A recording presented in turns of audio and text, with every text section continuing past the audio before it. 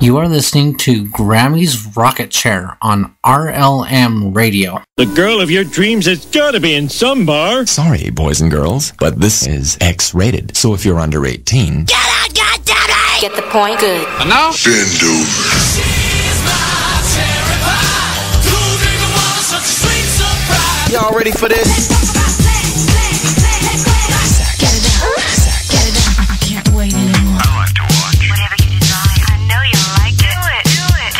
We do it all night long. And now, your host, Grammy. Hell's bells. Holy crap and wackadoodle. Hey there, hi there, ho there, everybody. This is Grammy Mary, and I finally made it on the radio. Oh, I'm in my rocket chair. I'm cruising around. I have no freaking clue where I'm going because, yeah, lost my roadmap to the stars, so to speak. Been on the phone with my eldest, and uh, yeah. It'll be okay. It'll be okay. Everything's kosher. Everything's cool. That's that's what I'm sending out to the universe. So, hey there, hi there. Happy Wackadoodle Wednesday. It is a whacked kind of day. It has been a whacked kind of day. So let me see who all's over here on uh, Twitterville. Twitterville. I see that I gained another stalker. Yay! I think it was my niece. Bless her heart. She's she's dealing with some issues right now and yeah, hopefully she's doing a whole heck of a lot better.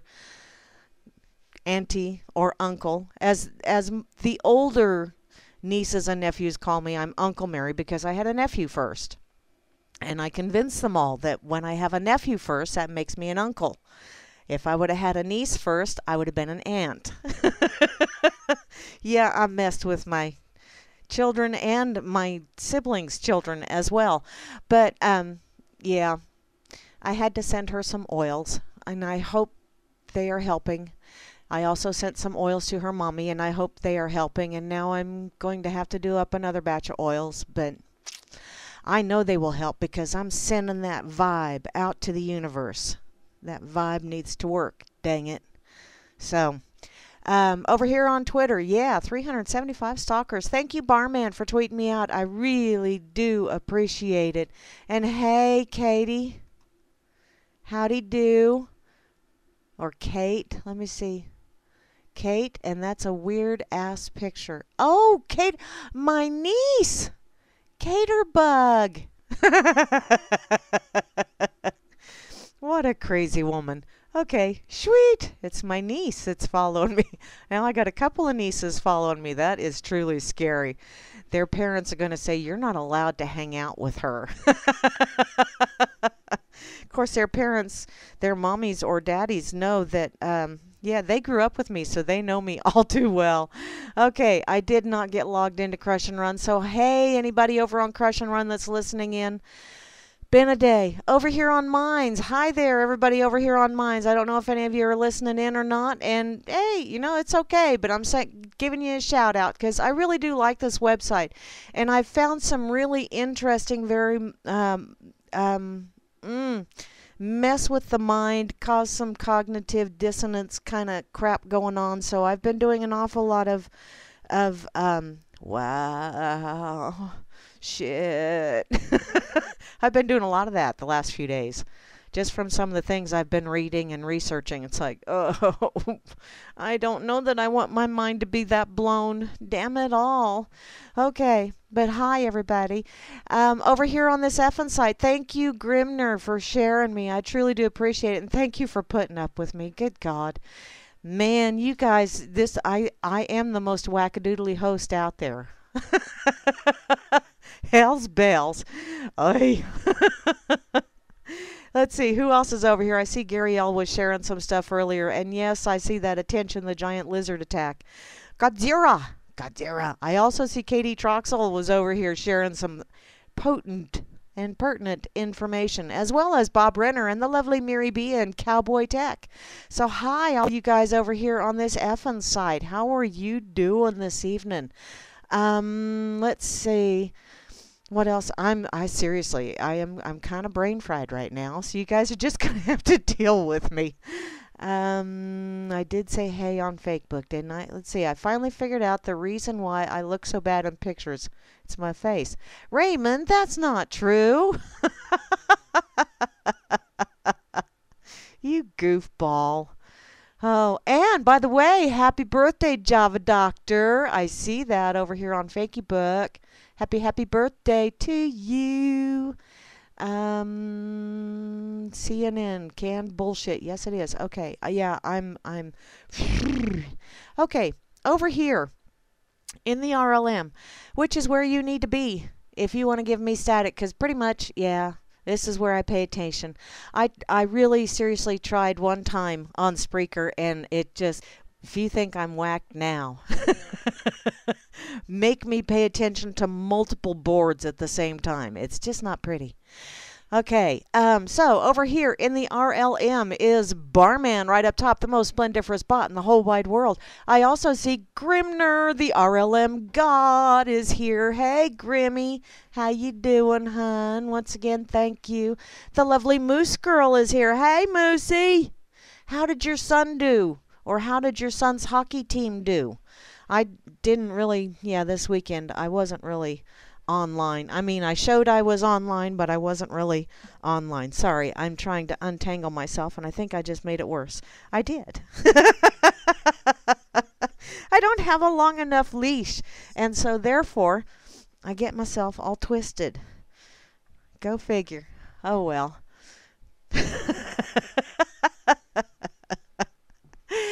okay, where was I at? Kate! Hi, Kate. How's things down in Florida? Do you guys have more temperate weather now, as in for re- your region? Because, wow, I saw down in Texas, it's colder than Hobbsy hell.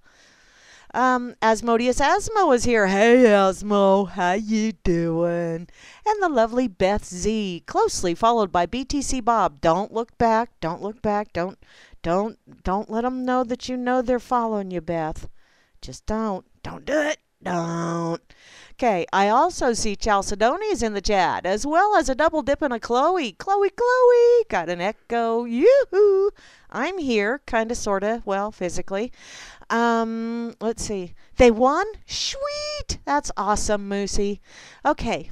Um, IB Don C is here. Hey Don, how you doing? Sorry to hear about your water issues with the burr burr burr burr burr cold. Oh, Crush and Run is running a bit slim today. Ah, okay. Thanks, Grim. Um, let's see. Java, Java, Java, Java, Java Doctor 2, the birthday boy is here. Um, oh, and Don is printing parts. So, how, Don, you know, just let me know whenever you get a chance. Let me know how you're really liking it because it looks like you're really, really, really enjoying that um, 3D printer. Heater and sweaters, Kate? Oh my goodness. Wow. That's unusual for Florida. But, ah, it's been an unusual year. But, you know, it is global warming after all. Um, let's see. Don, Java, JJ's. Hey, JJ's, how you doing? Hope you're doing absolutely splendiferous. And I also see Juana Taco. You know what? Juana Taco, that really sounds very, very yummy. But I made a batch of soup the other night, and I still got enough for supper tonight. And oh my God, is it ever yummy! Mm. Got just enough for tonight. And some whole wheat dinner rolls to go with it, and some real butter. I'm going to be fat and sassy when I get done on the radio tonight, but for now, I'm just going to be wackadoodly. I also see Meisterbauer. Party, Woody. How you doing? And P. Bunyan is here. Timber. Hey, P. Bunyan. Long time no chitty chat. I also see RLM Fluke, the Vanna White of the RLM channel. Rob Works is here, and thank you for firing up that bubbler, hun. Oh, wow, you have no idea how much I need that. I also see Trust No One is here. Trusty dude, what's going on with the Bitcoin? I keep seeing all this weirdness. What's up? Are are they dodging cybernetically with the cybernetic currency or what? I also see Dakota is here up in the great white north. I know no that's not a racist thing. It's snow For those of you, why is it all of a sudden that the color white, which yes, it is a color, but it's a combination of all colors, just in the lighter side of the spectrum, just like black is a combination of all the colors in the darker side of the spectrum. You got your shadow, you got your light. You got your shading, which gives you depth, and you got your light, which makes you feel airy, light and airy. And yet everybody goes, We're better. Now, you frickin' Sneetches on the beaches. Frumpy! Hi, Frumpy. How are you? I hope you're having an awesome day. I also see Gooberzilla is here. Goober, honey, did you go and attack Tokyo? Gooberzilla. I also see Kozu is here. Hey, Kozu. Oh, Bitcoin. Well, you know, it still looks respectable. You know, I I don't pay that close of attention, but it looks like it's more than what it was. Um, Kozu is in the house as well as Meisterbrower too. Whoa, we got a double dip of Meisterbrower. Damn it, that's like a double dip of party. Poxified is logged in but marked away, and I also see Slim Jim Flim. Hi, Slim Jim. How are you doing, sweetie? I hope you're having an absolutely awesome day, and I hope things are warming up for you. This it really has been a rather frigid winter so far. Granted, it only started in the end of December, but it's been frigid. Mother Nature's going through a cold spell, apparently. I also see Teddy, the cuddly one. See, everybody needs a Teddy to cuddle with, and then that way you won't have to deal with the frigidness. You think? And to round out the crew, the one, the only, the Phantom, who did my wonderful intro. Thank you ever so much, Phantom, for that intro. Mm-mm. I just got delivered a cup of coffee by a very sweet, sweet individual. Hey, Mary B. Mary B. Yay! The lovely lady from Down Under has made it over to the chitty chat. Yay, B. I'm going to have to say yay, B. Okay. And I think since everybody else has been checking the weather, I'm going to check mine too. Because, yeah, it's been cold. Supposed to be warm tomorrow, though. And even warmer still the next day. That is, if the weatherman ain't lying to me. It would be nice if the weatherman ain't lying to me. Come on. Does it take that long? Really? Fluky? Barman? To figure out what my weather is? I have no weather. I have no weather. Darn. Okay. Um, let me see. I've been throwing stuff in my pocket. I've been, oh, wow. Gary L just shared something over on uh, Twitter from Bored Panda. And damn. Wow, that's frosty. That's frosty. I'm going to have to click on that one just to see. It's uh, from boredpanda.com. A thermometer just broke at 62 minus 62 degrees Celsius, minus 80 Fahrenheit, and it's in the world's coldest village. And the photos are breathtaking, which, wow, I can't wait to see those. Welcome to Oymyakon. Oi. it's a village where students are expected to attend class till temperatures reach minus 52 Celsius or minus 62 Fahrenheit. The remote Siberian village is considered to be the coldest permanently inhabited settlement in the world, and it has just plummeted into the minus 62 Celsius range. Damn.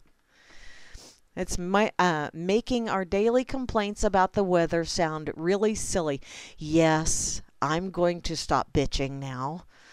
I'll still whine and whimper a little bit, but I won't bitch so much because I'm not there.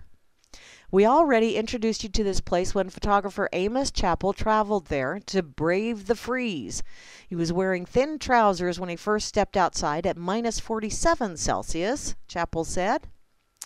And I remember feeling like the cold was physically gripping my legs.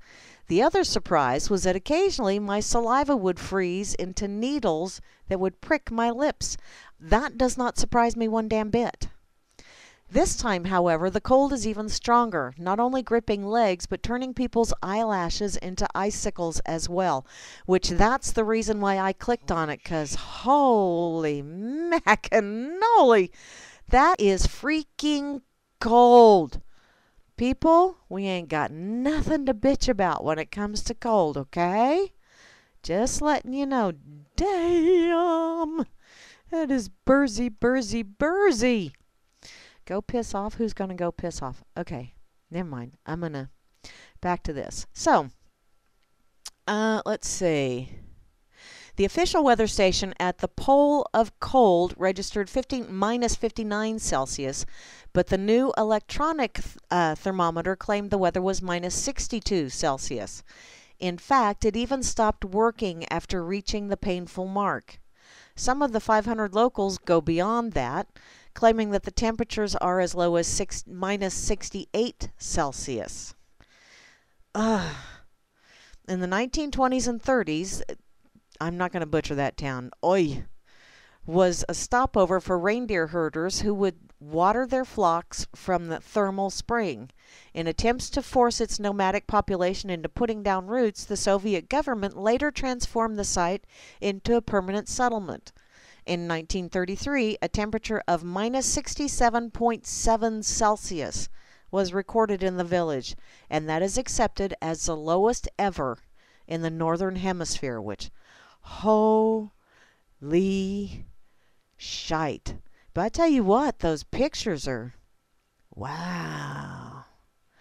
Most definitely breathtaking. And it's not surprising then to think that, yeah, the woolly mammoths froze solid. I and here's a video of cars driving and it's like, really? Seriously? How in the hell did you get the damn thing to start? Jeez, oh Pete, that is flippin' cold. Damn. Oy, okay, I got to share this one. That's thank you, Gary L. But wow, okay, it's enough to make me go. I'll stop whining now. Thank you, Mother Nature, for only getting to minus four degrees the other day. Mm, wow. Okay, share that over here on Minds and over on the effin site. Just 'cause it's effing cold there. Crap.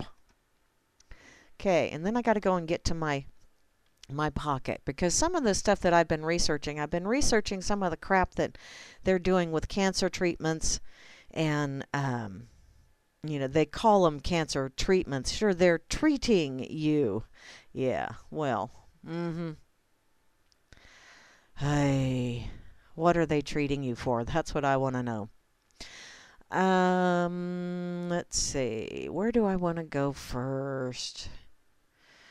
Um, well, I've been reading about antineoplastons, which are something that, you know, the um, the federal government, after the doctor that found them, or, you know, actually, he didn't dis- okay, he found out that a certain combination of them have been working to help people with like brain tumors and a few other specific because he's trying to fit within this certain criteria because the FDA is making him stay in this one criteria and unless he comes up with like 2.5 million dollars he can't step up to the next phase of testing.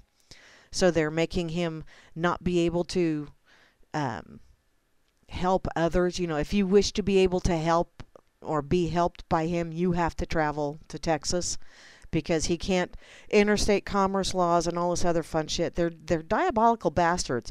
But, you know, they're trying to stop him from doing this and they've filed all kinds of charges and indictment after indictment after indictment after indictment have all been kicked out. And while they were going through all that process of trying to indict him for fraud, even though the information that what he was doing was actually helping people, that was irrelevant to the charge, according to them.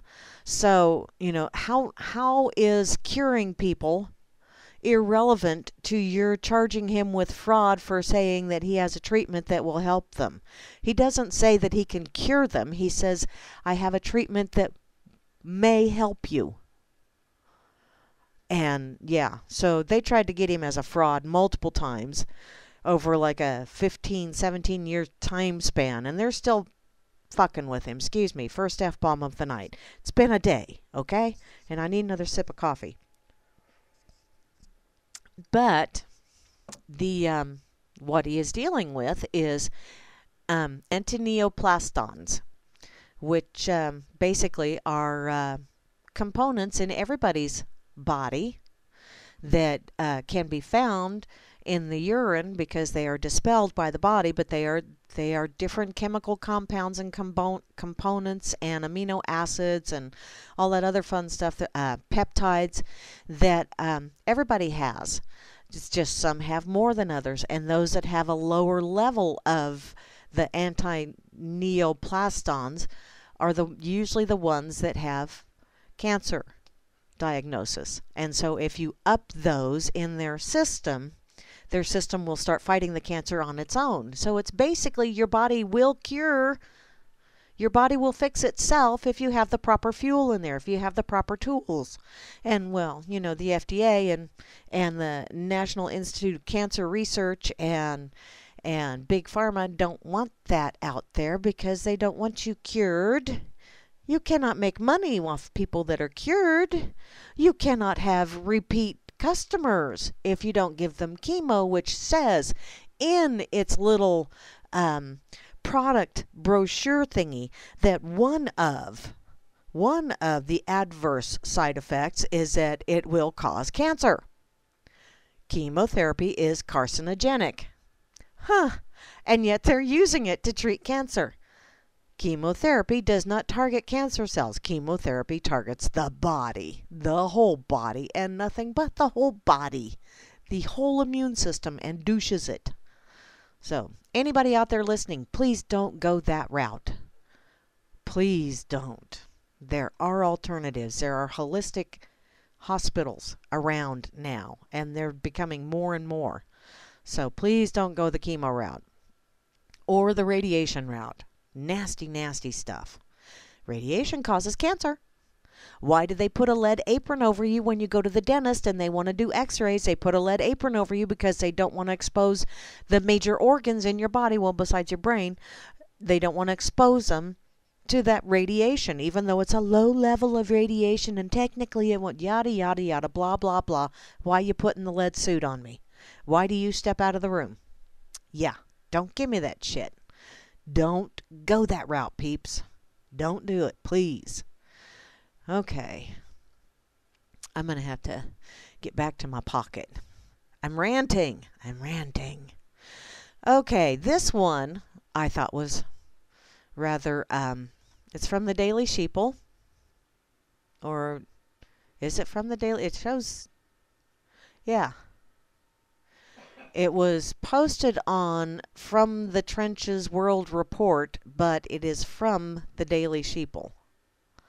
So, um, apparently a free speech demonstration was shut down to, due to lack of permission for free speech demonstration. So if you don't have the proper papers, if you don't have your documentation, if you didn't ask permission to exercise your free speech, you have no free speech. It's like, excuse me? Free speech is just that. It's just that. That's another thing that they're they're trying to, you know, uh, actually part of the way that they have beaten the FDA and some of these other ones is they've been saying you are violating his right to free speech. Everyone has the right to free speech. Why can't a doctor say that I have a treatment that may help you? You don't want him to say that. So, yeah, only in America. Yep, free speech demonstration was shut down because they didn't get permission for something that they had every right to do. And it's not something that's a right that's granted by governments because governments don't grant rights. And contrary to what a lot of people have been taught, you are rights are not granted by the Constitution or the Bill of Rights. Those are stipulations of rights that are pre existing, pre Constitution, pre any kind of government. Those are pre existing rights just by virtue of you being born. You have that right. So, this bullshit of, and it's a video basically. So, um, yeah, someone tells you you don't have a right to exercise your free speech, your right to free speech, you just tell them, "Excuse me." That is not a constitutional right. That that that Bill of Rights there, that's supposed to those are limitations on the government that that you know somehow or another things got twisted around. You know, and it's or maybe that's the way it was intended to be, but we all need to look at it as, "Excuse me." Excuse me. But um I had that right before government was even a thought just because do they do they censor babies that as soon as they're born? They're not allowed to cry anymore? That's their freedom of expression. They are expressing the holy shit what am i doing here? When they cry i would. It's like damn it it was nice and dark and warm and i got room service and now you're making me out here and i'm naked and cold. Ugh. yeah. I'd be crying too. Okay so, uh, let me put this one over here on uh, Minds and put it on Effin as well. Looks like you guys are really chitty chatting a lot over there in the. Let's see. I'll just do that. so, what's going on over here? You got the Borg agenda big time, but no spaceship. Oh, sweetie, you know what? And that was something else that I got to thinking about because everybody says, you know, when they talk about the the dome over the Earth or whatever, you know, when I have been investigating and listening to some flat Earth things and some debunker flat Earth things, and I'm still trying to trying to find my way and and figure out. I know somebody's lying. And until I get it all, and you know, I really don't give a shit what form it takes. All I know is somebody's lying to my ass. So, um, in any case, I don't think that there is like a solid dome or enclosure or anything like that. I think that's what that radiation, Van Allen radiation belt is. It will let things in, but it won't let us out. But it has to be something really, really big to let in but we can't get out. Or or maybe we could get out, but we would be fried little critters if we got out. So there there would be ashes on the other side that would probably accumulate on the other side and then gradually just silt down. Global warming. Oy. Oh well, let me put this over here on the Oh shit. I'm not done with my burr. I'm not done with my burr one on the effing site. Damn it. Okay, do I have a frozen dude on here? I don't know, and I'm not going to scroll and look for him. I'm already befuddled. Okay, let's see here. Oh, the joys of doing live radio when you're not prepared for doodly squat. Which is half the fun. You know, just winging it. I have tried to set myself a little, oh, you got to do this and you got to do that, and we're going to cover this and we're going to cover that. And you know, I never stick to it. I never do. So I just quit doing it. Quit trying to be prepared. Okay. Um, okay. I share, I saved this one too, and I gotta, I gotta share this. It's just a meme. Um, but it's a very appropriate meme. Yeah, Oh, Meisterbauer 2 pinged out. Damn it. Okay. I'll put this over here too. Just cuz. Sharon. I ain't Sharon, Sharon. Okay, gonna be that way? Fine. Um, back to my pocket I go. So, you know, remember those um, UC Berkeley riots that they had last year. Yeah, you know the ones where where those Antifa people were being ever so fascist. You know the anti-fascist people were being ever so anti ever so fascist. They don't see it cuz they don't look in a mirror. Well, apparently there are this is according to the Daily Caller. There are attendees that are suing Berkeley over injuries at the 2017 Yiannopoulos riot. Oh, Milo, no, they weren't coming to see how gorgeous you are because I don't really think all that, he's all that cute. And not that that really makes a difference to him anyway because his gate swings the other way, but still. Apparently, University of California, Berkeley is facing a lawsuit from four residents who were injured attending a Milo Yiannopoulos event, which quickly devolved into a riot due to a lack of popo presence in February of 2017. John Jennings, Katrina, I'm not going to butcher your last name, and Trevor Hatch and Donald Fletcher, all residents of Berkeley, were attempting to attend the Yiannopoulos speaking event when uh, they were attacked by masked protesters. Berkeley's college newspaper reported this on Sunday. Uh, the February riots headlined national news for days and caused UC Berkeley $100,000 in damages. Which, yeah, see? See how being tolerant of intolerable behavior, see what it gets you? The complaint filed Thursday demands compensation for damages incurred due to university creating dangerous conditions and exposing the plaintiffs to physical harm caused by a violent mob of anarchists. Now, I understand that the word anarchist is not supposed to mean that, but obviously the definition has been um, hijacked and evolved.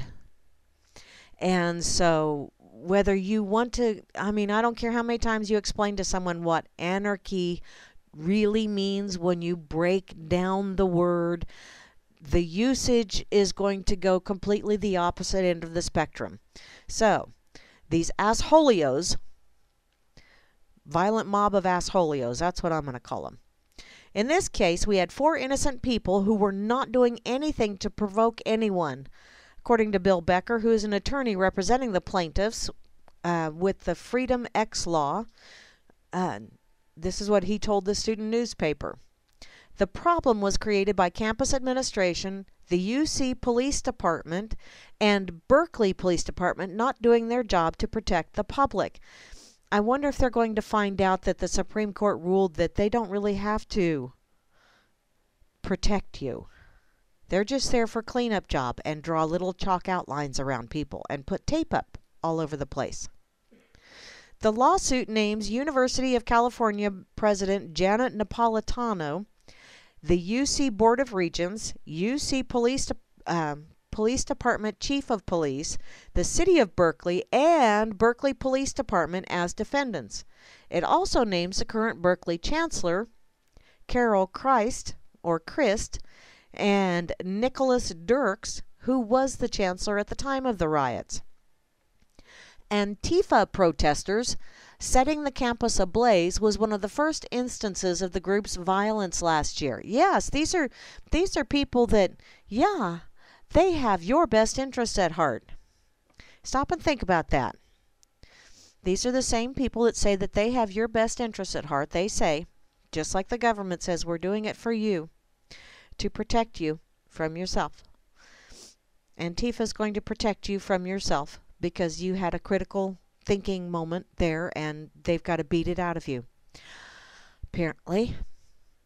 Um, outbreaks of violence against conservative speakers plagued UC Berkeley throughout 2017, culminating in September when the college paid a total of 1.4 million to ensure safety at a Ben Shapiro event and another Yiannopoulos event, which I do like Ben Shapiro. He talks entirely too fast for me, but I have to listen to him a couple of times to get everything he says because, you know, one of them, they're fast talkers.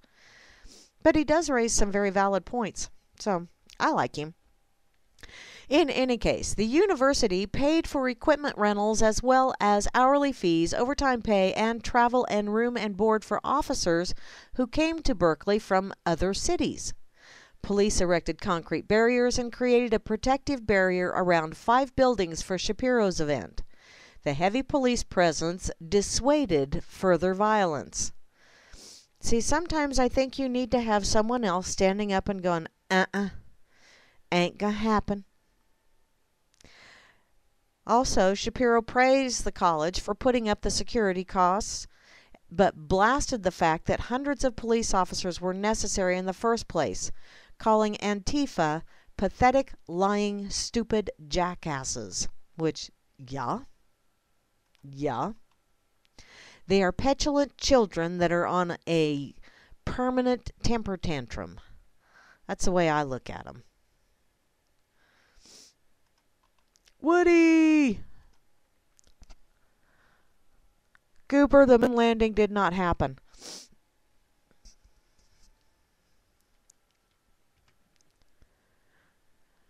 And you know they couldn't do that again anyway because well they they lost. You know they lost the technology and just can't get it back now. It would be way too expensive to to try and get it back. So yeah, really? As if you guys don't piddle away enough money the way it is. You know, NASA, never a straight answer, is a department of the industrial military industrial complex, don't you know? So, yeah, wonderful little trolleys. Although they do have some really pretty street art painting of, you know, galaxies and nebulas and all this other way cool stuff. I there was a picture I saw over on Minds and I swear to God, I saw some a YouTube video of those street artists with the tin cans, you know, with the the paint cans and the coffee cans and and cottage cheese containers and lids and that kind of shit and rolled up newspaper. I've seen I swear I saw someone do that very picture and I'll bet you NASA bought it and then said, "Oh, we've got to we've got to do a little off-centering here and a little bit of this and a little bit of that because we got to make it look like it was put together from different segments." Yeah, it's CGI, peeps. CGI. None of that. None of it is with the naked eye or even with a telescope. Sorry. They're blowing smoke up your backside and that smoke is toxic. So, which, by the way, I heard the other day. You know, you don't fart. I did not realize this. People do not fart. They giggle out their asshole. So that is my that is my new my new thing. I no longer fart. I'm just giggling from both ends. there you go. There's my rocket fuel for the day. So, um, let's see. Let's get that posted and put it over on the effing site. Okay. What's going on over here?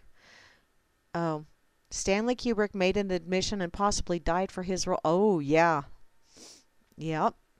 Yep.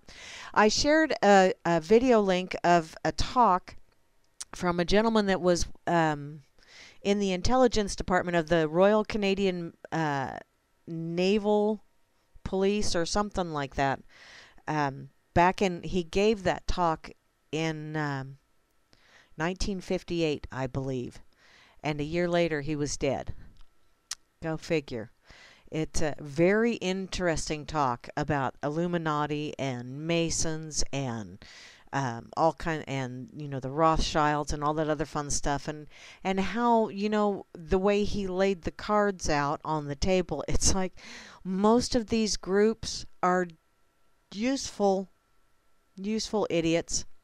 But I did learn something one thing in that video. He said that everybody thinks that goyim is you know for us us Christians or Gentiles or whatever. No goyim means um, cattle he said that's the actual translation. oh, really, Grim? Well, you know, I have had a few um, intestinal giggles that were more of a kind of thing, but go figure. Oh, well. I have just been listening to all kinds of videos, and videos don't really do. I, I'm not set up to do videos on here. Sorry and shitty internet. Has it? I that's one thing I want to ask. Has anybody else's internet gone totally to shit in the last couple of weeks? Mine has. not just here at the house, but also in town at work. A lot of people are complaining that the internet has gone totally to shit. Things are slower. Um, you know, and it's I'm I wonder if maybe somebody is not pulling some strings, governing things down, although I don't really understand that whole concept of how do you govern down stuff that travels through the air. But in any case, um, it's got to be the receiver, you know, on the receiving end that they have governed down, however that works. But um, I wonder if that's going on so that they're trying to pressure us to complain so that we will get that whole net neutrality thing going back again or whatever. I didn't really understand what all net neutrality was either, but there's a lot of things in this world that I just plain don't understand and I really don't care to understand. They're just they just don't pique my interest enough to want to go there and actually research it. Not like some of the other stuff that I have been checking out of late. Michigan Bakery to debut Flamin' Hot Cheeto Donut. Gross! That's gross, Grim. Ew. Foy. I would not. Nah. Okay, I got a notification over here. Let me see what's going on. Hi, Aidens. I see you over here on Minds. And Chuck O'Celli. Hi, Chuck O'Celli. Anybody check out the Frank Zappa videos I shared? Thank you, Grimmy. I'm you know, it's one of those misery loves company kind of things. I hate to hear that someone else, I'm hoping, you know, I hope it's just a localized thing, but when you hear other parts of the country are having issues as well, it's like somebody's fucking with the switches again. Somebody's pushing buttons. Somebody with the government obviously pushed the wrong button. You know, kind of like that whole thing with Hawaii, which really has my sister, just younger than me, very, very, very pissed off because her hubby works in Hawaii. And uh, he works there 45 days and then he comes back to Kansas for 45 days and back to. He had just gone back to Hawaii a couple days prior to that warning thing. And oh, she was. She was freaking. As. You know, I can understand that. But it's like, you son of a bitches. And then they go, oops, pushed the wrong button. And I, I did see one thing where, you know, you could see the screen and how, yeah, okay. I'm not saying that I've never done that because I am the queen of button pushers. Just saying. But, seriously, no. Besides the fact that, um, don't they have more of a failsafe than just one person is allowed to do the button pushing? You know, doesn't it take more than one person? Don't you have to have, you know, like a kind of criteria that you have to follow or a procedure? No, I don't think so. I think that was an intentional. I think it was definitely a test to test people's reactions to see how much how many people they could get terrified or in a dither or whatever. It frickin' pissed me off and then it was like assholios. You total asshole. And then what? Couple days later, had one over in Japan? Really? And you know, just coincidentally, the day before that happened, an NBC News crew was there to tour the facility, and someone just happened to say something about, well, you know, what if like such and such scenario were to happen? And then the next day, it happens. Ah, yeah, yeah. All the world's a stage. And I think they are playing it to the hilt. And I also think the reason they're playing it to the hilt is because they know they are in their death throes. And who do I mean by they? The assholios that have been pulling the strings are losing. Um, took them 38 minutes to say they pressed the wrong button. Oh, thanks, Goober. Yeah, 38 minutes. That's a long time to make people um, stew and fret and panic and and I think they really wanted to see that. You know, it's it's it's bullshit. It's bullshit. And you know, I really honestly think all of that negative energy, the fear and the anger and the anguish and all all of that fun stuff, they feed off of that. And if they don't feed off of it, then at least it going off on a where's my tinfoil hat? I think that energy actually fee- feeds, you know, and changes the structure of whatever that whatever is encasing our home.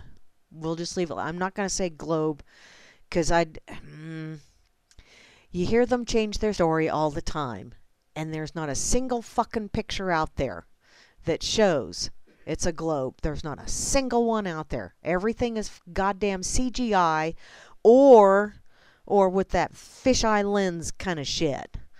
So, especially with what was that guy that that supposedly um, did the uh, parachuting from way up in the upper atmosphere? Yes, the external cameras showed a curvature. Yes, they did. But the camera behind him inside the cabin before he jumped out, that one showed flat. The external one showed curve. The internal one, shooting over his shoulder out into the horizon, showed flat horizon. Go figure. What the hell's going on? I don't know. I don't know the shape of things. All I know is they're lying and there's a reason for it and I want to know the reason. That's my thing. Why the hell you assholes lying to us? What you what are you gaining from this? Which is what makes me think that this whole Van Allen radiation belt thing that engulfs our world, depending on the temperament of the people that reside here in this lovely little persistent illusion that we call reality, those of us that reside here if you have more positive energy flowing up, more happy people expressing happiness and positive things, then it changes the structure of that radiation belt. But if you keep the terror going, if you keep the fear going, if you keep the anger going, if you keep the divisiveness going, that also changes the molecular structure of that. So it becomes either a prison planet or a Garden of Eden, depending on the molecular structure of our shielding. That's just, I'm putting that out there. There's my little tinfoil hat for you. And yes, Grammy, I do like the flat sun theory and the flat moon. I also think the moon is somewhat um, transparent.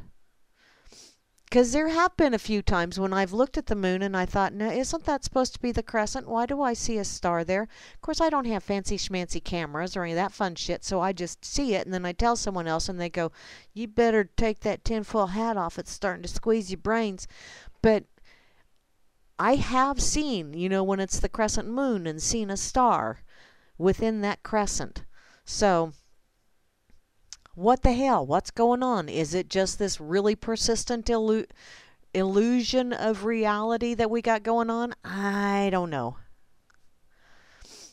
Organized religion, yes, goober, it's control. It is control, and that's another thing. I think I really honestly think World War III is going on right now, and it's a battle for your mind. Controlling your mind. However, and they will use tools I don't, I don't, I don't doubt that one bit. They will use tools on the physical, but yeah, it's a battle for the mind. To control the mind, because if you control the mind, if you control the mindset, if you control the emotions, then you control. Yes, yes, Goober, they do. They feed off of the negativity. I honestly believe that which is why I go out of my way to be happy. Even if something really crappy happens, I try to bring myself up and try to be happy because if you if you put those happy vibes out there, at least it makes my world better. I don't know about yours, but it makes mine a lot better. So, okay. Huh, I am really going off on weirdness tangents tonight. How fun is that? I'm going to go ahead and shut Twitter down cuz yeah. Shitty internet and all.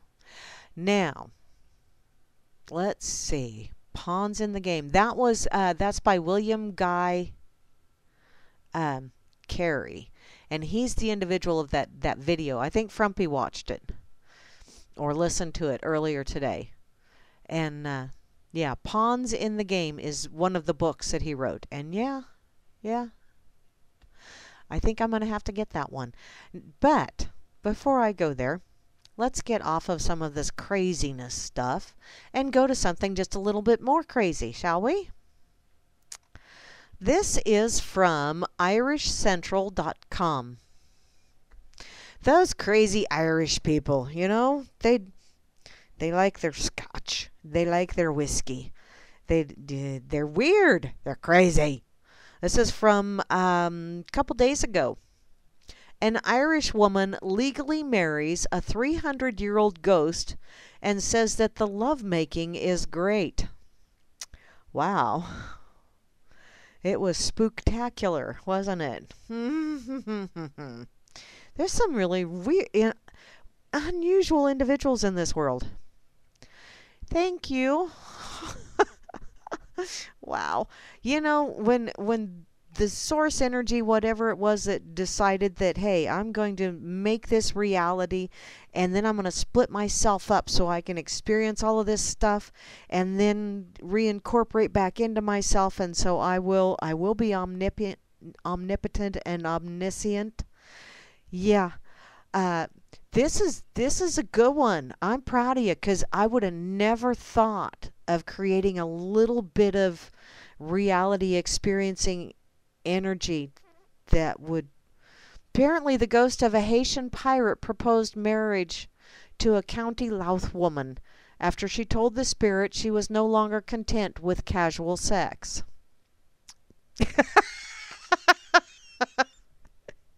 okay. This 45 year old woman married the ghost of an 18th century Haitian pirate after the couple met when she felt his presence laying beside her in bed in 2014. Amanda Teague from Drogheda. Drogheda. I know. I did. Okay, Amanda Teague from Ireland. That works. She traveled to international waters to marry her pirate partner Jack through the means of a medium after telling the spirit that she was no longer happy having to just have casual sex. Jack from Haiti. Really?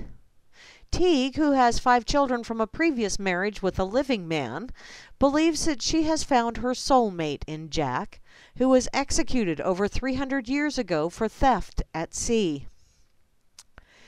She also works as a Pirates of the Caribbean Jack Sparrow impersonator and believes that it was the pirate link that brought her own Haitian pirate to her. She even claims the sex is better than with living men. Okay. Having built up their relationship since 2014, the great sex wasn't enough for Teague anymore. However, and she gave Jack an ultimatum that she would need more commitment for their relationship to continue. I told him that I wasn't really cool with having casual sex with a spirit and I wanted us to make a proper commitment to each other. If I'm going to be in a long term relationship with somebody, I have the right to be married. And I want the big traditional wedding with the white dress. It was very important to me. Apparently, marriage to a ghost is legal in some countries, such as France and China, and so the couple traveled to international waters to ensure the legality of their marriage would be upheld when they returned to Ireland. Jack was represented by a skull and crossbones flag. I'm sorry, I'm having a really hard time keeping a straight face with this one. sorry. Okay, back to.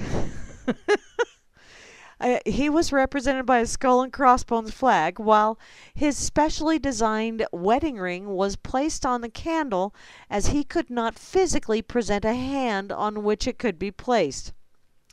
He also gave his vows with the help of a medium while a shaman priest presided over the marriage. Obviously, I can't speak for him, but there has to be verbal consent from both people, Teague said. Wow. Wow. Apparently, I if I gave consent on his behalf, it would put a question mark over the whole authenticity of the marriage. So we had an independent medium speak for Jack. The couple went on a honeymoon in Ireland before returning to Teague's current home in Downpatrick. She claims that the couple go on date nights to dinner and to a cinema, while he ensures she always gets a Christmas and birthday present by sending messages to one of her daughters about what he'd wish to buy, and they purchase it for him because, well, you know, there's not too many places that take ghostly exchange. Mm. Teague now wishes to spread more information about the possibilities of a relationship with a ghost, and she and Jack are co writing a book named Ain't No Grave Can Hold My Body Back to advise singletons on how they too can bag themselves a ghost partner.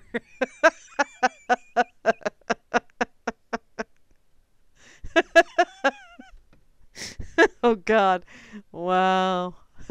so would you consider no. No. you know, part of me just wants to laugh and say, "Oh, wow, I would have never thought of something like that to um you know, to, as an attention seeking thing. You know, I would have never thought of that. But then there's a part of me that thinks, okay, you got a shaman involved, you got a medium involved, you got this woman that's marrying a pirate flag. And it's like, okay. And he's sending messages to her daughters to tell them what he wants to buy her for Christmas and birthday. Okay. Now, I I, I honestly believe that there are people in other realms of existence that can communicate with us. I don't think people that have exited this walking meat suit that we are occupying at in this reality, I don't think just because they leave the meat suit that you can't talk to them anymore. I really do believe that you can talk to them. But I'm not uh, mm, I'm not real sold on this whole wow. That's just Wow. Darling, wow. And I'm feeding the beast. I really am because I'm I'm sharing this.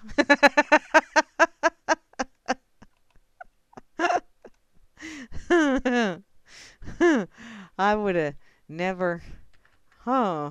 huh.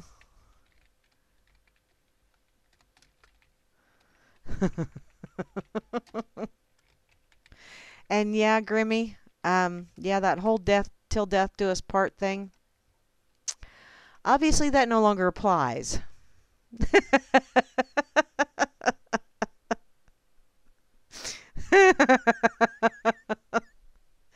okay, Frumpy's half Irish. All right, Frumpy. half Irish and Rob's half German and wow. Okay. Um Oh, you won the lottery tonight, Frumpy? Sweet. That's awesome for you. Oh, I oh Goober, Goober honey, I covered a story a couple months back of a woman marrying her or no, did she marry it or did she just propose to her chandelier? I don't remember now. But she's in a relationship with her chandelier.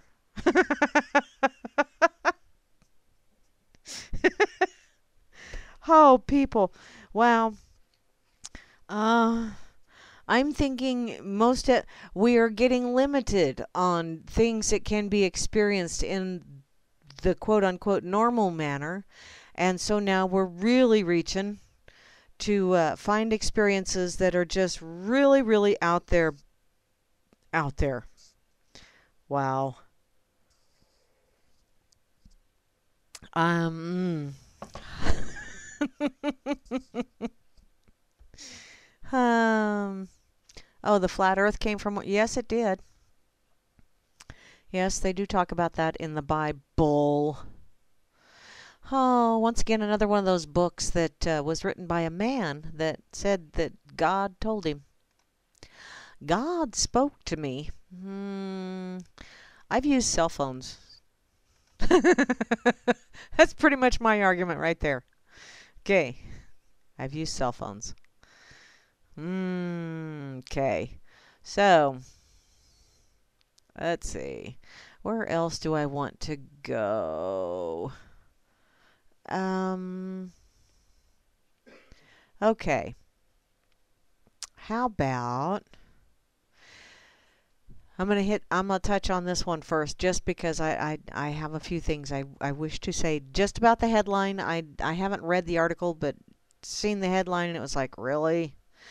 This is from healthnutnews.com. Eight die of quote unquote flu in two weeks in Santa Barbara. Seven had their flu shot. How's that working out for you? I know that sounds like a really heartless thing to say because there are family members that are, you know, dealing with the loss of a loved one. And yet, how's that working out? Isn't that supposed to prevent that kind of shit? Oh, scientists were worried that this um, worried this year that the flu season was going to be especially rough, and that's proving to be true. Even though the flu shot doesn't work particularly well this season either, it's about 10% effective. 10%! Wow, that sucks. Health officials still want you to get it. yeah, because, well, they are officials in the disease management business, and they need that income. Sadly, in the last two weeks, eight Santa Barbara County residents have died from the flu, and seven of them had had their flu shot, although all eight were 65 years of age or older. Yes, dear. Chloe! Um, so, um, Dr. Charity Dean, the public health czar for Santa Barbara County, is extremely worried. Holy sheep dip, that was loud. Yeah, I was having problems with my mixer earlier today, and it just really did not want to let me turn down the volume on a couple of things. So, uh, she's extremely worried because she's not seen numbers like these in the last decade. The number of patients who are testing positive for the flu at local hospitals and health clinics is off the charts. Local emergency rooms are slammed, reportedly experiencing a threefold increase in number of patients reporting flu-like symptoms. And here we thought those chemtrails were just like nanoparticles of aluminum and all kind of other nasty chemicals. What if they're spreading flu?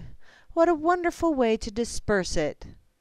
I mean, you don't have to get a lot of people sick. Just cover the whole area. You'll have a few that will be susceptible.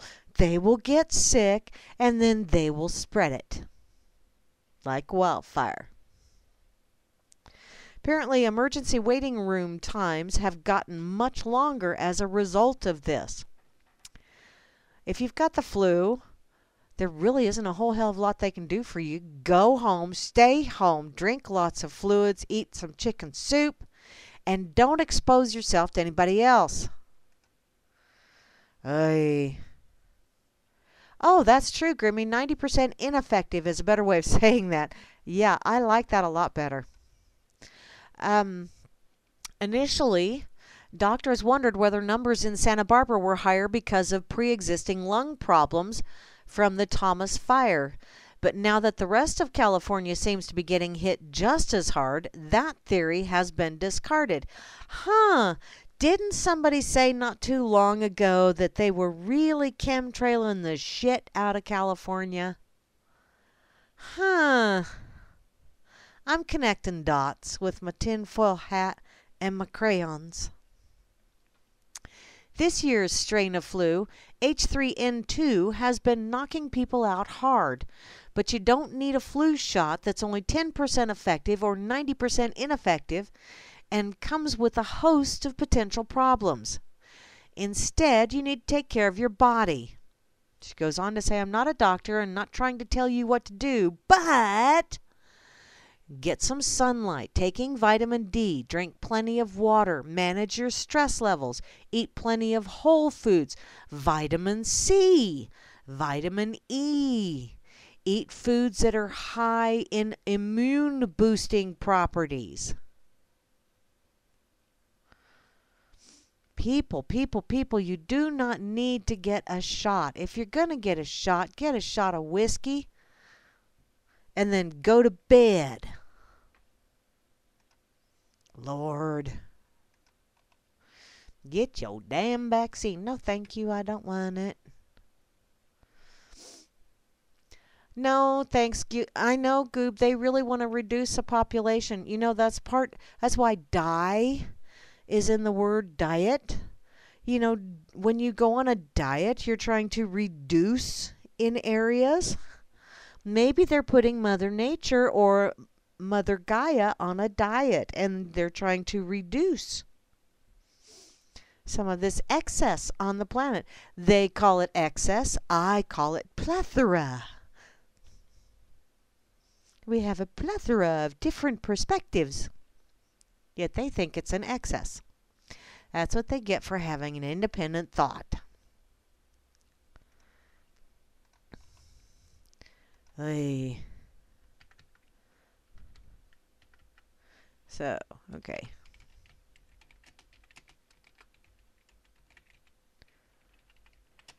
Thanks, Grimmy. I'm using your 90% ineffective over on Minds.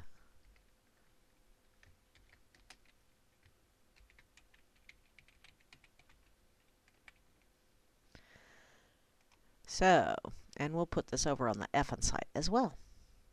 Hi, TD. I see you over here, honey.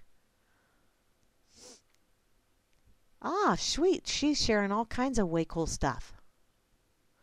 My daughter is going to go and do the polar plunge here in a couple of weeks. Her and her daughter. They're going to do a 1K run and polar plunge. It's like, oh, sure, get yourself all hot and sweaty and then jump in really cold water. Better you than me. I'm, I'm a wuss. Sorry. Not gonna go there. Okay, yeah, we're gonna do this one. And then where's the where's the little where's the little guy that says fuck you? I gotta scroll and find the little fuck you meme or emoticon guy here on um, the effing site. Dun dun dun dun dun dun dun. I know it's here, Grim, because I remember seeing it, but I'm I'm scrolling, scrolling, scrolling. Yeah, stay away from the pricks. There it is. There it is. Yes. Found it. Okay. Now that we have done that one, stay away from the flu shots. There's all kind of nasty stuff in there. You don't want to go there. Now, um, was it last week? that I was talking about um, the whole cannabis thing, that was basically because the UN had put cannabis on the dangerous drugs list. Well, this is from Operation Recovery, OperationCleanRecovery.com from uh, a couple days ago. American media silence over UN calls for decriminalizing drug use worldwide. Drug use. Let's see if it's drugs in general. So, one year after ignorantly dumbing down or doubling down on the drug war, the UN is now calling to end prohibition. The drug war is crumbling. This is by Justin Gardner from the Free Thought Project but it's posted over here on Operation Clean Recovery. So, a little notice public statement issued by the United Nations last week contains a dramatic shift in thinking on the issue of illicit substance use. After or recommitting to the failed idea of prohibition last year, the UN is now calling for the worldwide decriminalization of drug use and possession. Huh, so use and possession.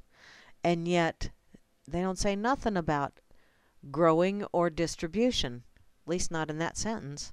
The statement put out by the World Health Organization as the U.S. is in the midst of another political debate over health care calls for ending decriminal or ending discrimination in healthcare settings.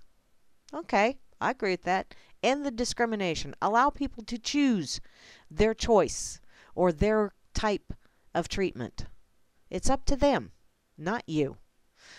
The WHO calls on states to end discrimination against marginalized and stigmatized populations. Ah, in a variety of ways, and it includes a blunt and rather shocking statement on the drug war.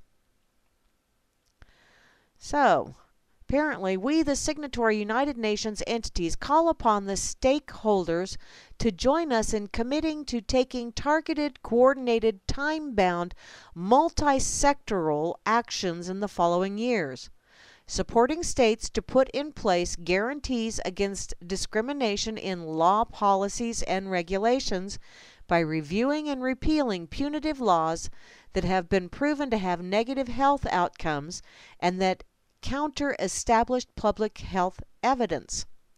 These include laws that criminalize or otherwise prohibit drug use or possession of drugs for personal use.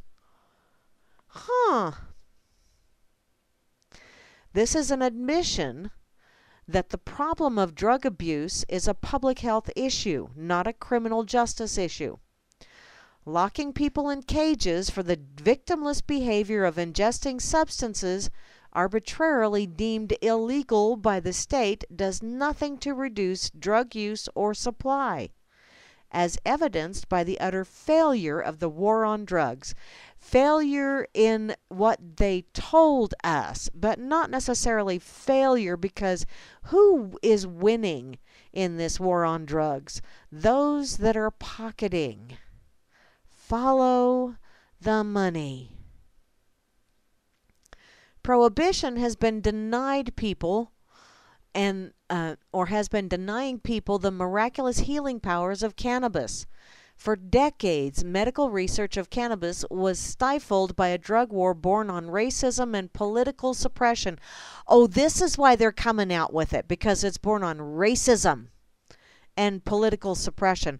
Although, yes, they did change the, the name here in the United States, or started calling it marijuana here in the United States because them dirty Mexicans were smoking it, which is, it's not racism, it's culturalism because we're a freaking human race. There are no distinct races. We are all humans. There are cultural differences. There are ethnic differences. There may be some differences in DNA, but it is not just specific to one. I mean, there it's across the board with that stuff. You are always going to find someone in each little each little subsection, if you will that's going to have the same tendencies as others. Things may be more predominant in one subsection than another, but in any case, back to this. Research has increased exponentially in recent years as governments around the world take steps to decriminalize this medicinal plant, notably among states in the U.S. Now, they're calling it a medicinal plant, and yet the FDA still wants to keep it on as a Schedule One, but they did approve a big pharma company who has patented a uh, synthetic version. I don't want synthetic. I don't trust those bastards. Give me natural or leave me the hell alone. I don't want none of it. If I can't have the natural, I don't want none of it. With this awakening has come amazing stories of healing through cannabis, such as stopping seizures in children with debilitating epilepsy, treating post traumatic stress disorder in veterans where all other treatments have failed, and healing a host of other illnesses without the dangerous side effects of pharmaceutical drugs.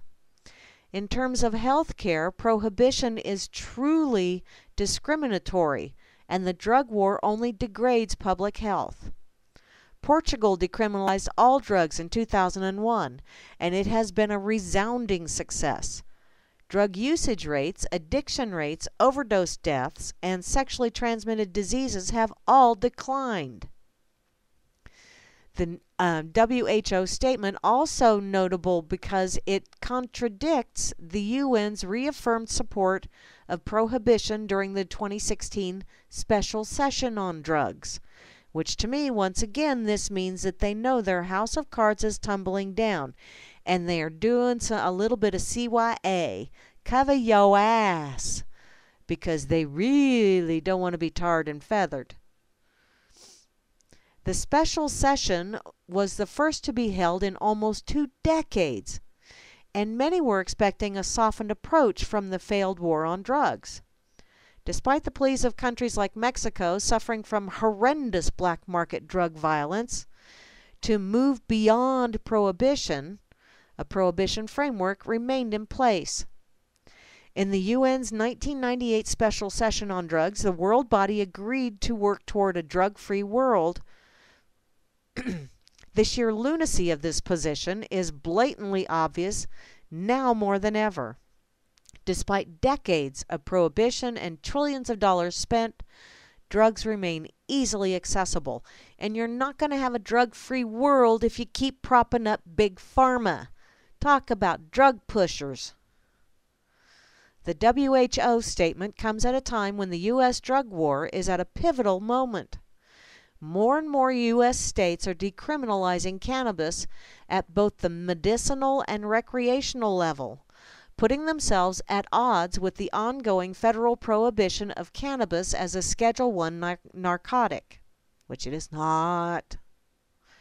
The U.S. Attorney General Jeff Sessions, oh, Mr. Talk about a wackadoodle, is a well known rabid prohibitionist. How well that work out with the alcohol thing, by the way? Jeffrey, Jeffrey, Jeffrey, Jeffrey and is he is taking steps to ramp up the drug war. Someone needs to bitch slap him down. Trumples, if you're gonna do anything worth a shit, bitch slap him down, would you please? Um, he's calling for increased police measures and prison sentences, even though this approach is proven as a failure. Why? Because he's a fucking control freak. That's why. Crazy brains, honey. Stop it! Stop it! Jeff, breathe. Breathe. Actually, try some. You know, probably is. He's probably a closet toker and he just doesn't want anybody else. Or he wants to keep it this way because he's raking in some serious jack on the black market. That's another possibility. So, there's little hope that Sessions and other drug warriors around the world, such as the Philippines President Rodrigo Rodrigo Duterte, um, who is now having the police forces murder drug users on the spot, dumbasses, with the explicit blessing of Trumples. Really? Did Trumples bless him for that? What a moron! Um, maybe they will pay any would they pay any attention to the WHO call for decriminalization? Probably not, because control freaks are going to be control freaks. Nevertheless, the WHO statement is an encouraging sign that the tide has turned against prohibition.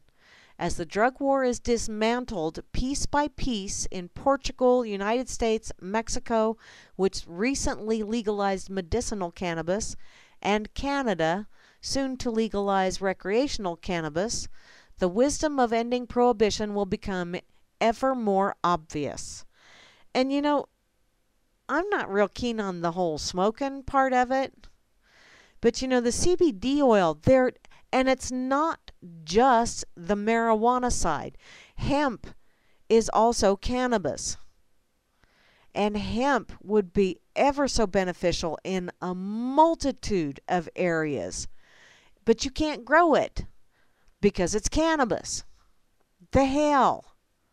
So lift the restriction. Get rid of it. Just leave it alone. It's a plant for Christ's sake. You don't have hemlock criminalized, do you? There's an awful lot of flowering plants out there that it's not illegal to grow or have, and yet this one is. What the hell? Y'all are nuts. Okay. And I'm going to be doing some more research on the CBD oil and some of those other things because I I've I got an oil that's supposed to be pretty high in cannabinoids. Um, but it is not um, it's not marijuana based. It's another plant and I, I I can't remember now. I'll have to look it up. Um, closely related, but not marijuana based. And uh, I need to check out the properties of that bad boy. Just because I'm going to be doing some blending. so, wow. Okay, oh yeah, I did start about 20 minutes late. So I got, I was thinking, God, I only got 20 minutes left. I started 20 minutes late. So, huh, go figure. Okay, I'm going to reshare this one just because I really like it over here on Minds.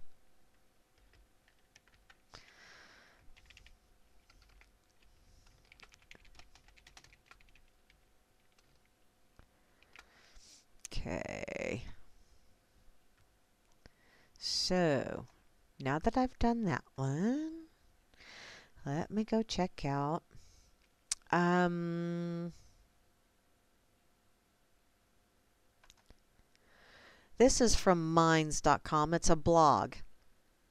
And I just saw the headline of it and I thought, ah, ah, let's check this bad boy out, shall we? And I didn't get a chance to even read a little bit of it. Um, but this cognitive science professor proves that reality is an illusion. So here's the truth. Are you ready? Can you handle the truth? Apparently this was originally written April 26th of 2016. This the idea is simple yet almost unfathomable. Everything in reality we see is just what our brains are programmed to interpret reality as. The computer or phone screen that you're looking at right now only appears and feels the way it does because that is the best way for our brains to understand what it actually is. Are you confused? Well, Professor Donald Hoffman of the University of California, Irvine offers to help or offers a helpful metaphor for wrapping your head around the concept. Imagine a folder on the desktop of your computer. In that folder, you know there are files. But you know that folder itself is not the files. It is simply a visual representation of where and what the files are. So, in that same sense, he suggests that every object that we see is simply a represent representation of true reality, just like the folder. So, he gives a wonderful talk on TED. And I'm going to go ahead and share this for you. I've been listening to some TED Talks of late again. Oh, there went Miss Dorky Lynn.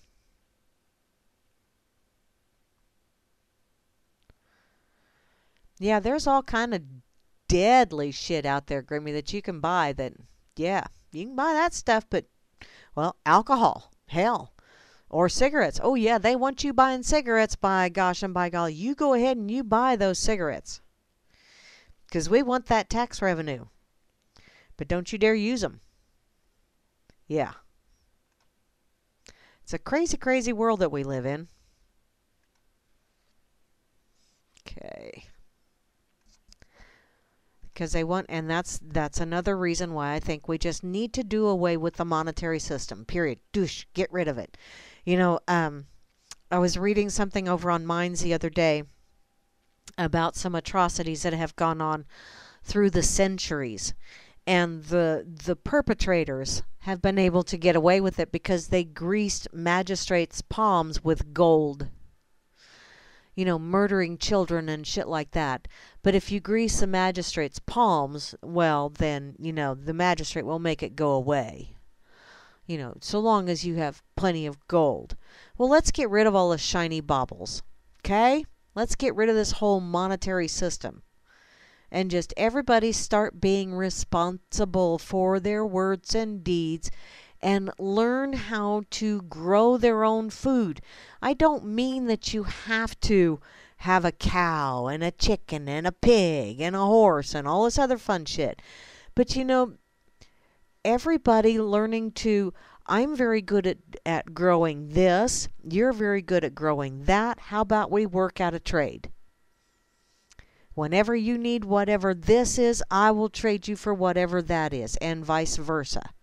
You don't need any kind of monetary exchange then. Seriously, I think we have, you know, everybody keeps calling. I keep seeing all this shit about calling for a revolution and we need to have a second American revolution. No!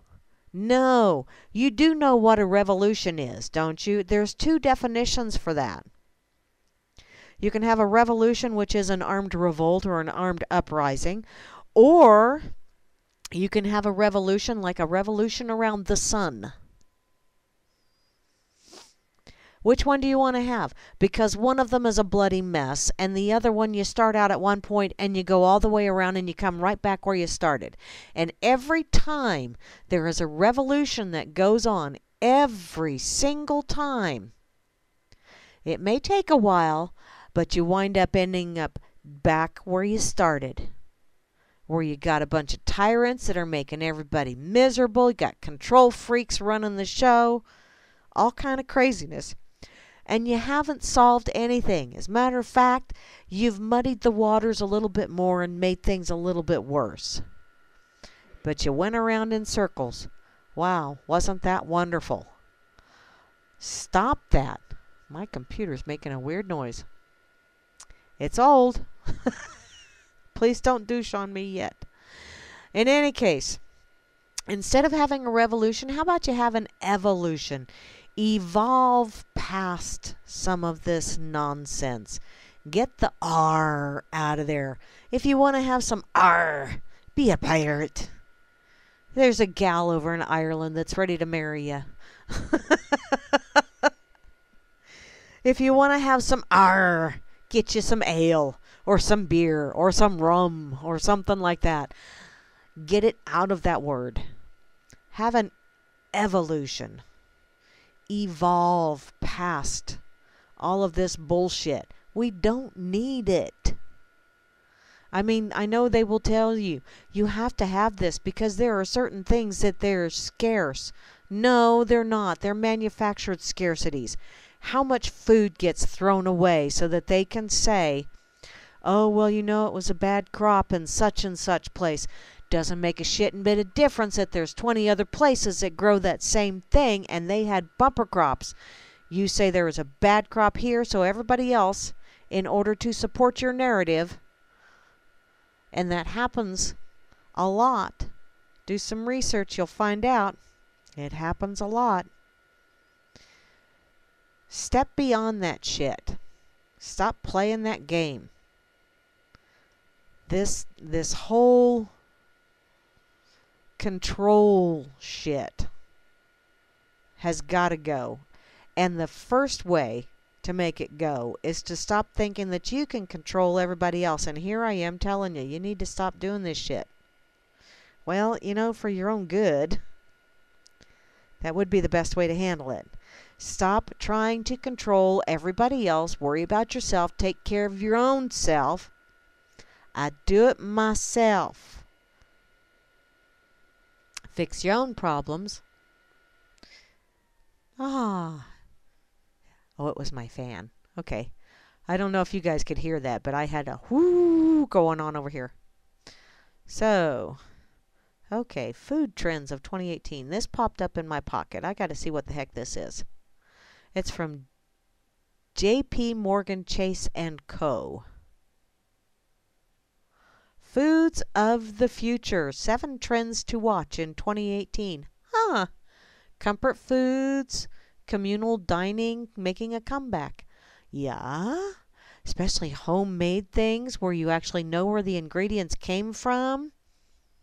Yeah, 'cause all that nasty shit in fast food. Oof. Huh. Every food fad has its day.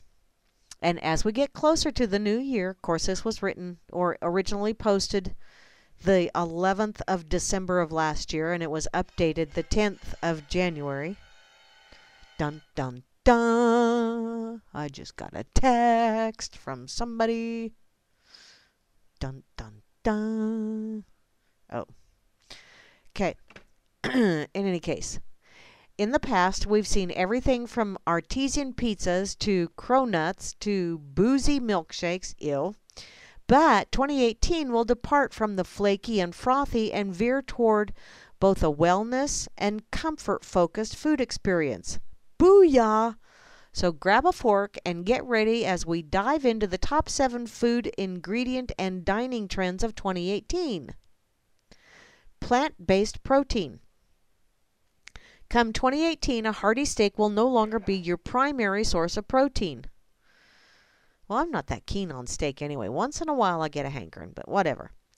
Vegetables will take center stage as more people learn that plant based proteins like chickpeas, broccoli, rabi, broccoli rabe, okay, portobello mushrooms are healthier options for themselves and the environment.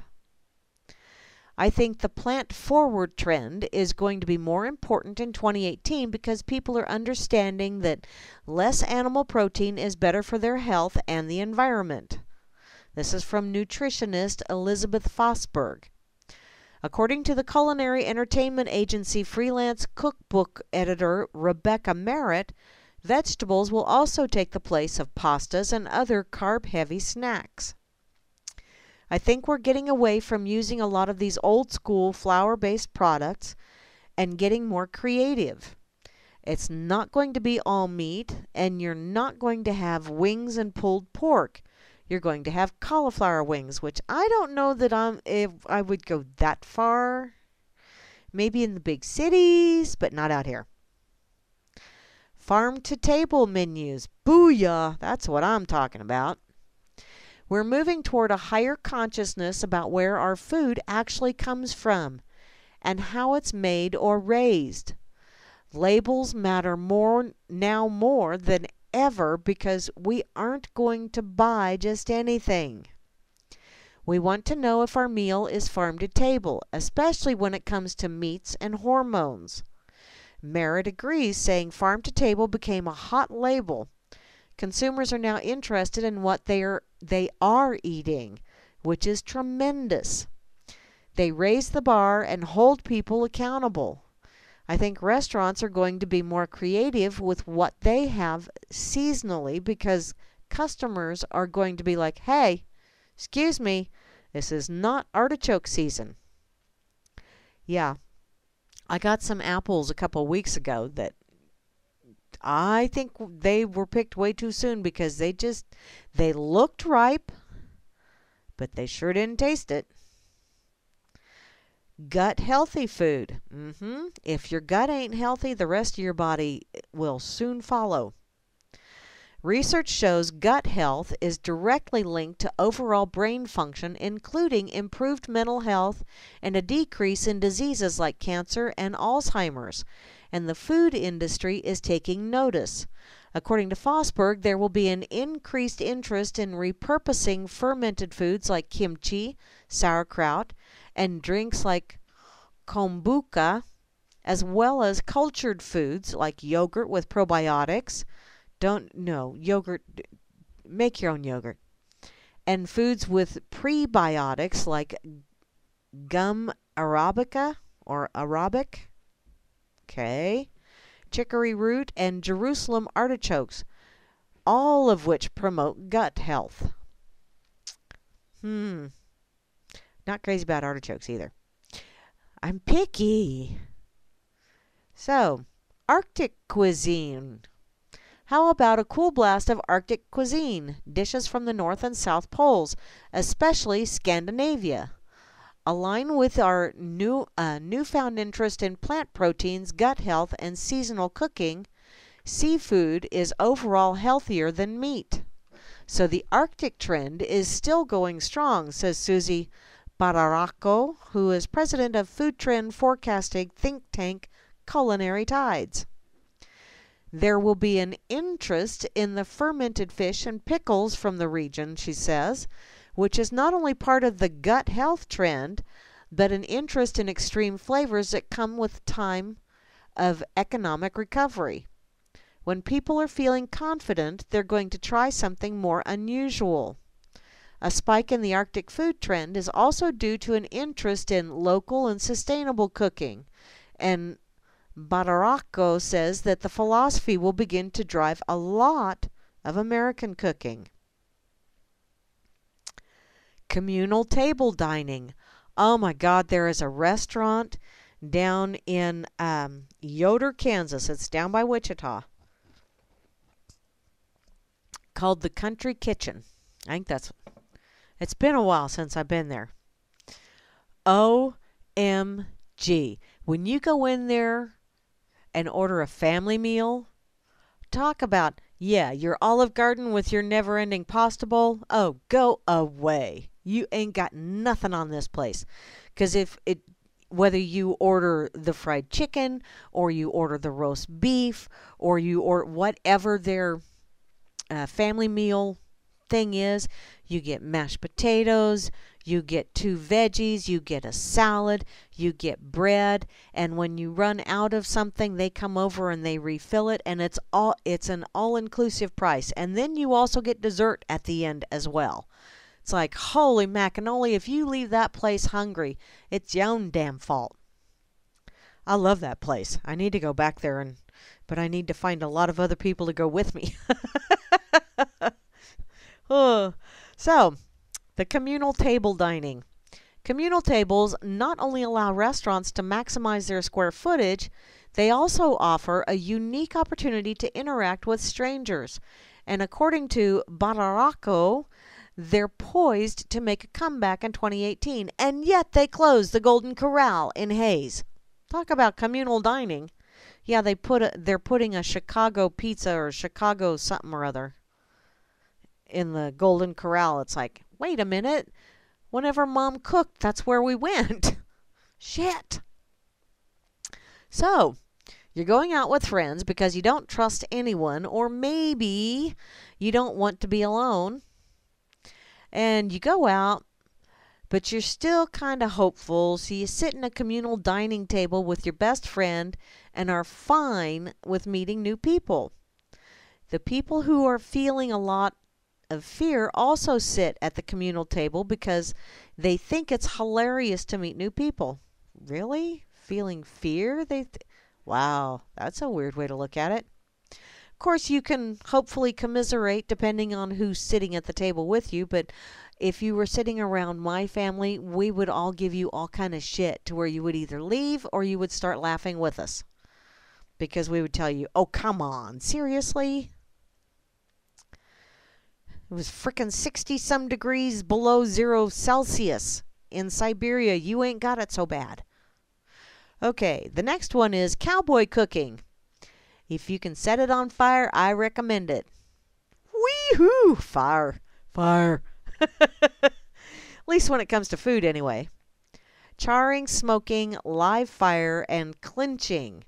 What Badaracco calls cowboy cooking all come from a time of economic recovery. It's more exciting and also produces flavors that are far more extreme on the palate. We create or we crave flavors like char and citrus when we're looking to experiment and feel good about making changes. So try a chili lime charred steak or Japanese yakitori, whatever the heck that is, which is a type of oh here this it's a type of skewered chicken. And if you're interested in feel um, feeling out the trend, oh they have pictures. Mmm.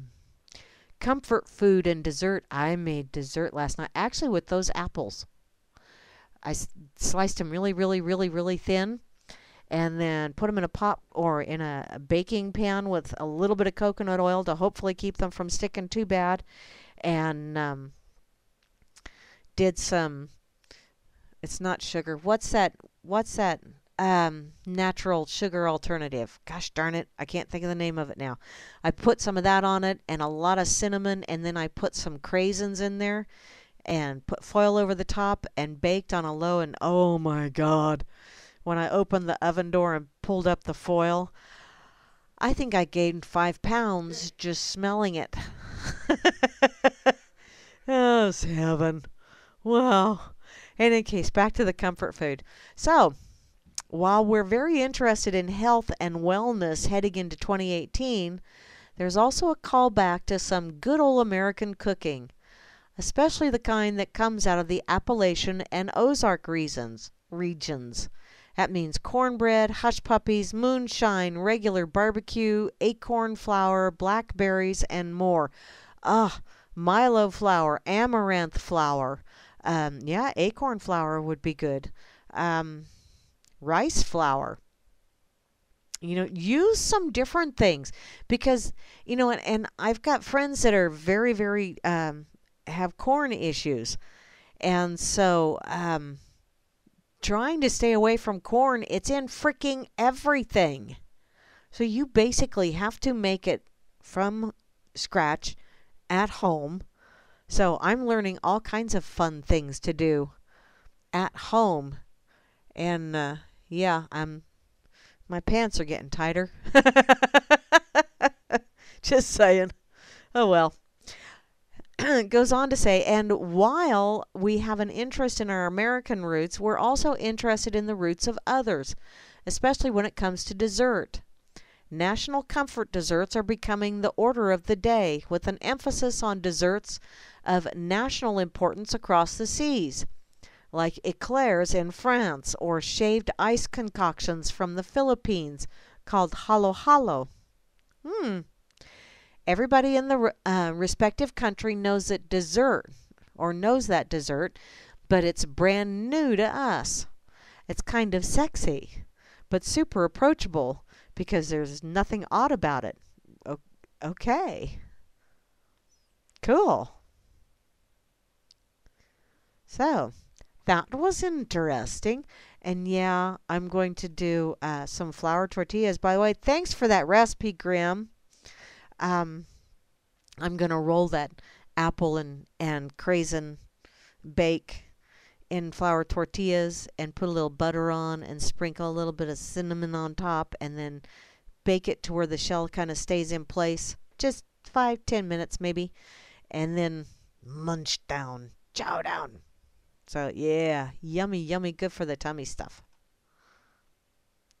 No, not aspartame, Frumpy. No aspartame. Um, it's not stevia. God, maybe it is stevia. I don't know. It might be stevia. Yeah. Ooh, Rob Works shared a cool one. Cool. Thank you, Rob Works. I am, by the way, going over a little bit from my regularly scheduled 8 o'clock because um, I started late because I was on the phone with my daughter. So, or one of my daughters. Thank you, Rob Works. Oh, and we got thank you, Larry Woods, as well. Uh, got an awesome book.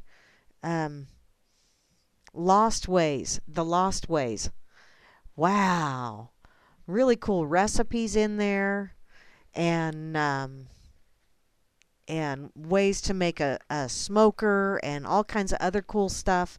I mean, it's yeah, it's pretty freaking awesome. Um, let me share this. over here real quick. Share the. Oop. Oh. Okay.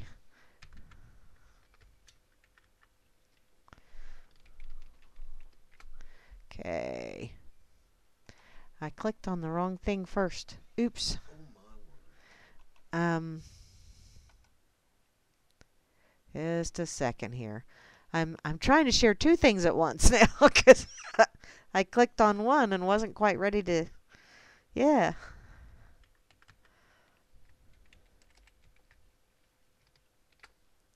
Okay.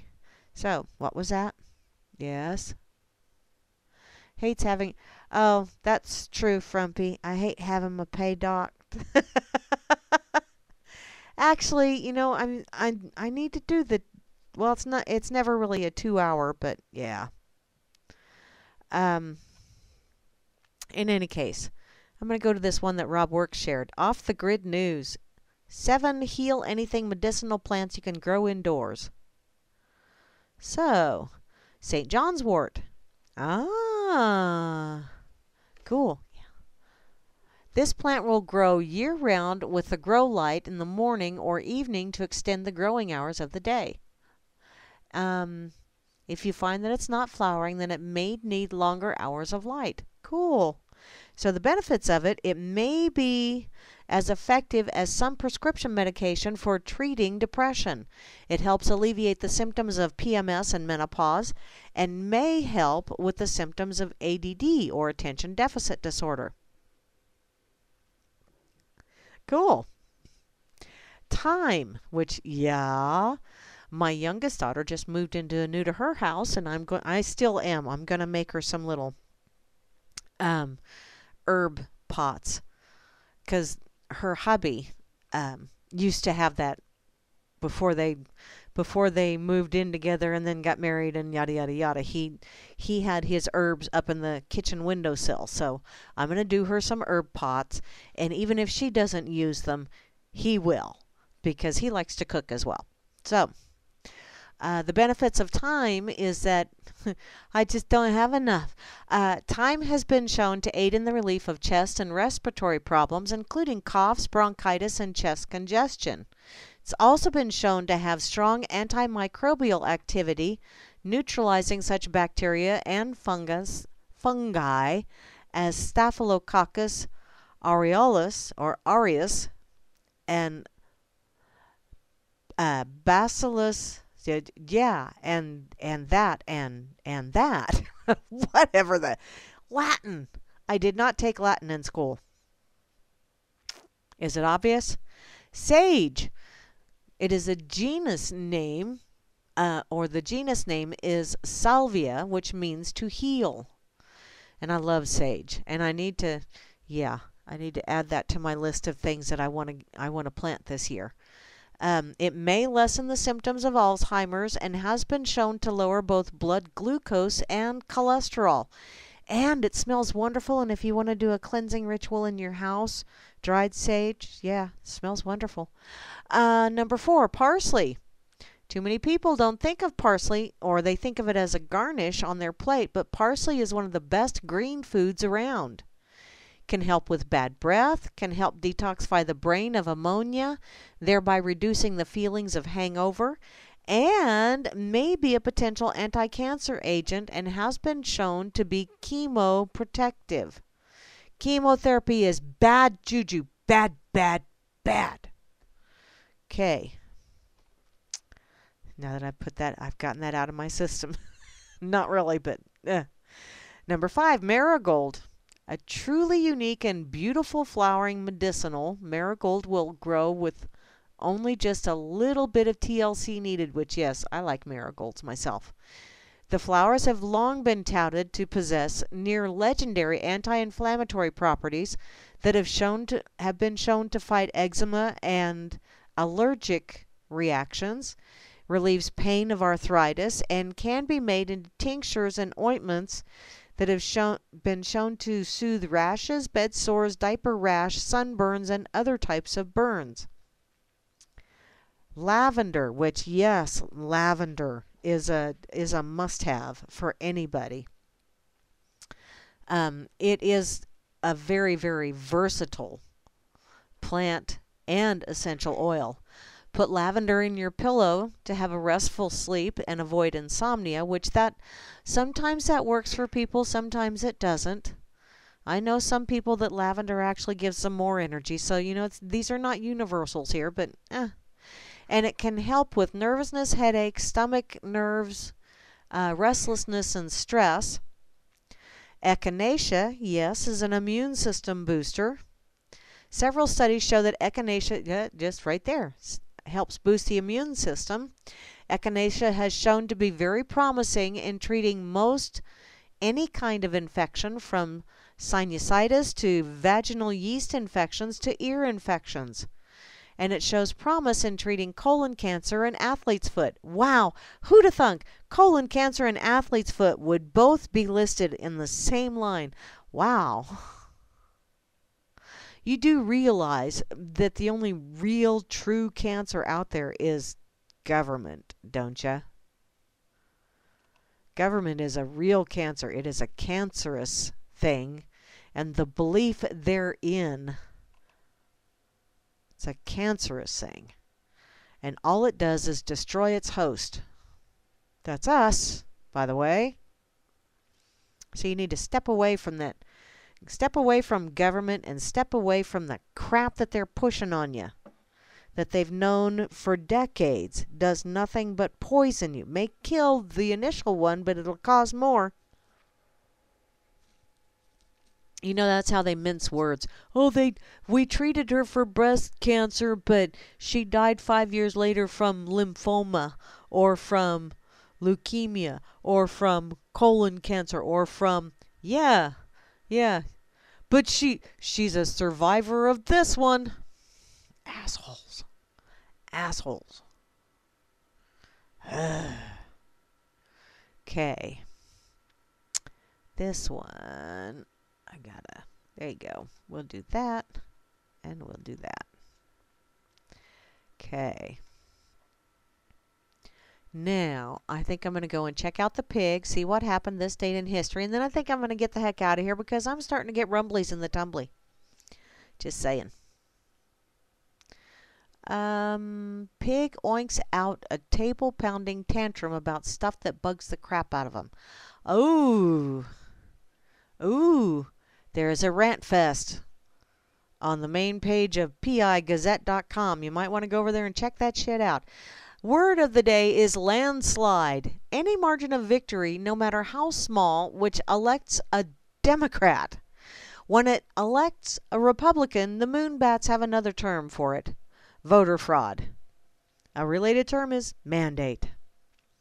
In their quotable quotes section, the government has no source of revenue except the taxes paid by the producers to free itself for a while from the limits set by reality, the government initiates a credit con game on a scale which the private manipulator could not dream of. It borrows money from you today, which is to be repaid with money it will borrow from you tomorrow, which is to be repaid with money it will borrow from you day after tomorrow and so on and so on, etc. This is known as deficit financing. It is made possible by the fact that the government cuts the connection between goods and money. It issues paper money, which it uses as a claim check on actually existing goods. But that money is not backed by any goods. It is not backed by gold. It is backed by nothing. It is a promissory note issued to you in exchange for your goods to be paid by you in the form of taxes out of your future production. That's from Ayn Rand. And you know, I was thinking the other day in a Huey Lewis song playing on the radio as I was driving home, working for a living, and I thought, why do you have to work for a living? Aren't you living right now? Why do you have to work for it? That you know, and I, I'm I'm gonna follow that little path and possibly even write myself a little blog about it, but it just it just hit me weird as in why do we have to work for a living when we're already living, we're already experiencing life? Why do we have to work to earn a living?